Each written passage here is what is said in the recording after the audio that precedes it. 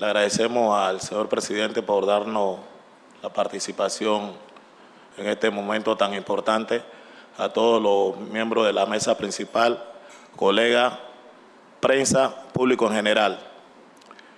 Primero, eh, me sorprende en un momento la forma en la cual la compañera eh, está manifestando como que no ha recibido nunca el respaldo de este humilde servidor, que también es negro y cree en los Congos.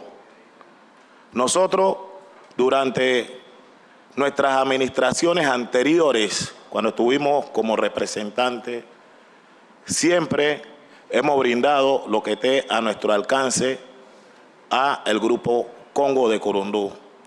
Y de verdad que eh, me siento un poco incómodo de escuchar eh, la forma como mi amiga Marcia eh, se expresa como que si este humilde servidor estuviera cerrándole las puertas.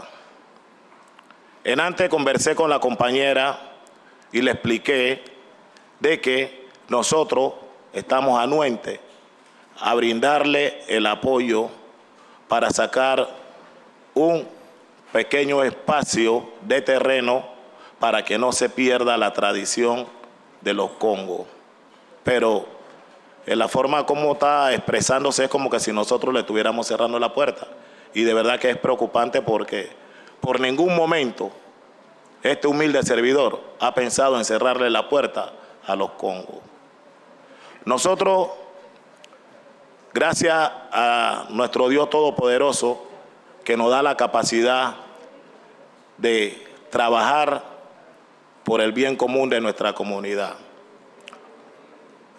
En esta administración tenemos seis meses y día, ¿verdad?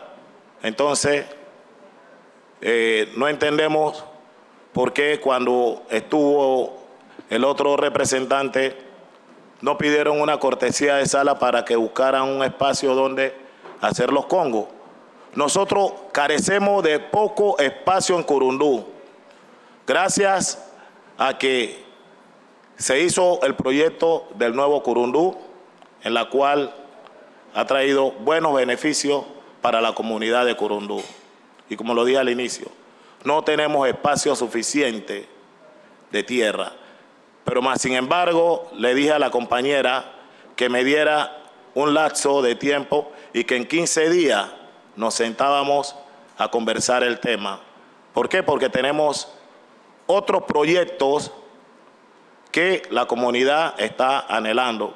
No estamos cerrándole la puerta al grupo de los Congos como nunca lo hemos hecho. ¿verdad? Entonces, de verdad que nos sorprende de manera de escuchar aquí en este pleno como que si nosotros le estamos cerrando la puerta. Quiero que sepan que este humilde servidor no le está cerrando la puerta. Simplemente le estamos pidiendo que tengan un poco de paciencia. Si en la administración pasada no lo lograron, bueno, ya esa es cosa del pasado, ¿verdad? Mi responsabilidad es de el primero de julio que iniciamos como representante nuevamente. Pero ¿qué le estamos diciendo a la compañera? Que nos dé tiempo. ¿Por qué? Porque ahí tenemos contemplado en el espacio que un momento estamos pensando darle un pequeño espacio para que ellos tengan y no se pierda la tradición Congo. Tenemos un proyecto de hacer una piscina y un centro cultural. Entonces, de verdad que no, no, no entendemos de que la compañera manifieste aquí como que nosotros le estamos cerrando la puerta. Compañera, por favor, seamos un poquito más respetuosos y de verdad que me sorprende de escucharla como que si nosotros no le estamos brindando el apoyo. Muchas gracias, señor presidente.